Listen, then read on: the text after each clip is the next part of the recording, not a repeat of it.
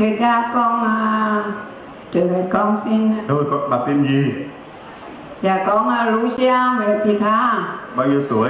à, 73 tuổi Rồi bà được ơn gì nói cho mọi người nghe. dạ con được nhiều ơn lắm à, cách đây 10 năm rồi Thôi được rồi, ơn mới nhất ạ, ơn mới nhất ạ, ơn mới nhất thôi một ơn thôi được rồi.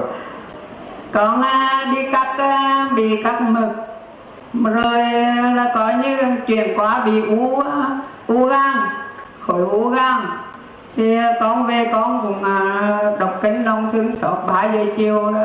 Con cứ đọc mỗi ngày con cứ đọc đọc mãi rồi cho đến khi à, con đi mẹ đâu vang.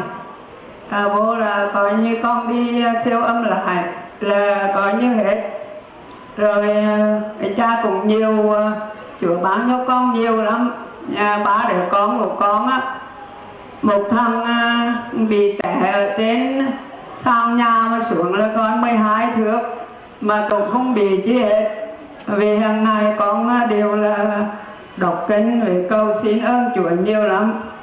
À, rồi một thằng là bị đau ở trên cái đầu như bị vôi. À, hay có như một lần ra hay nặng á, là là coi như chọn choáng váng thấy chứ hết.